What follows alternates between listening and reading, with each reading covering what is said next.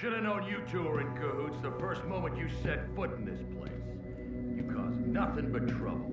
Cure is innocent. It's a setup. After you put this whole bunker at risk, you expect me to believe that? Hey, Oh, well, looky here.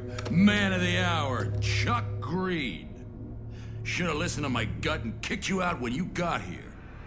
Sullivan, I had nothing to do with this. I saw it on the TV. Saw you, buddy. Explain how that little trick works. Wasn't me on the tape. It was someone in my show outfit. But look, I don't care whether you believe me or not. I've got three days till the military gets here to prove that I'm innocent. I'll hand myself over if we haven't gotten any proof by then. I'm just asking for a fair shot. Ahem. You could have told me that the front door was locked. Hey, you're that TV lady. I'll make you a deal. You keep rounding folks up, you can keep coming and going. You die out there, and we'll have to leave it to the devil to sort you out. But ain't no one gonna cover your ass when the military arrives. You pull anything, anything, and I'll do whatever I have to do.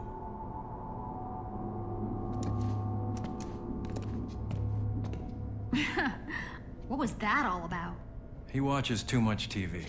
Tell me you found something.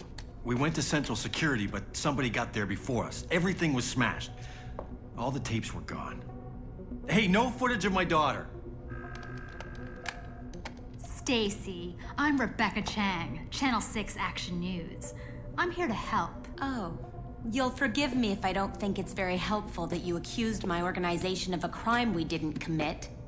Look, I don't know what's going on here, but clearly things are not as they seem. I put out the information I had at the time. Remember, you can have all the exclusives you want if you help us figure out what's going on here. Works for me, whether you're innocent or guilty. I just want the truth. Thanks for the vote of confidence. But okay. We'll work together. I'll keep an eye on these monitors. And I'm going back out there to see what I can find out. I'll let you know if I see anything.